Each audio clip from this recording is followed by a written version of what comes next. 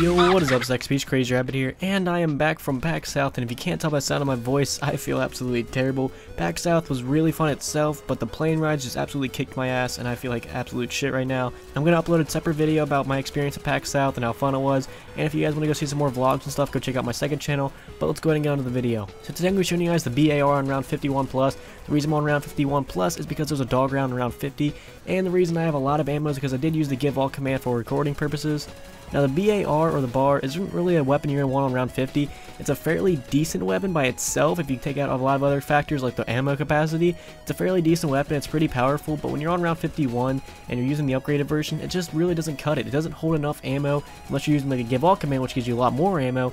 Regular bar just doesn't hold enough ammo and it really doesn't really do much. I mean the fire rate's pretty shitty. It's a pretty strong gun, but since that fire rate isn't really fast enough, it's not really going to help you and the ammo capacity is so low, you might only get like one or two kills and then you're going to be out of ammo. So the BAR not really a weapon you want on high around, so if you guys could, please leave a like and subscribe if you haven't already.